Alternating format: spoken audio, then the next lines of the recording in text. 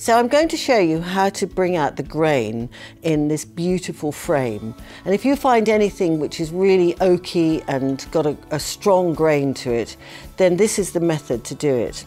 Mine is a really beautiful frame. And it's got a lot of, you can hear, it's very, very textured. So what I'm going to use is my white wax. Um, and here's my brush. This is going to take a little bit of work because the wood is very dry. So I have to really push the brush and the bristles into all the grain, all the three-dimensional. And the wax is really absorbing in. This is a technique which copies the old whitewash look, but we're using wax to achieve it.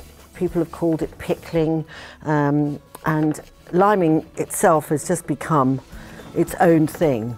So all the old oak beams in the old houses would have been whitewashed and then they'd look, they'd get this beautiful uh, patina. So here's a nice bit here because there's a lot of lovely wood grain. That's going to really look good.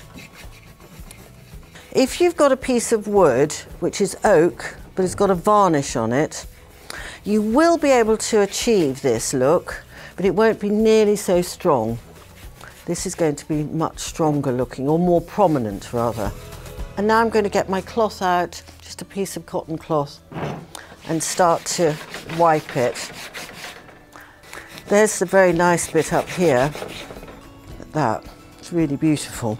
At this stage, I can still play about with it. So I'm going to take a little bit of clear wax and maybe just try along the edge.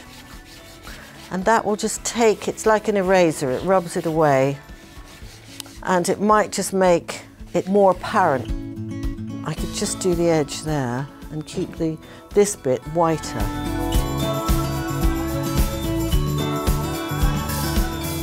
So this is my finished piece. Um, it's brought out the, the grain of the wood beautifully, I think, and I really, really love it. I might even just use it as it is, no picture inside.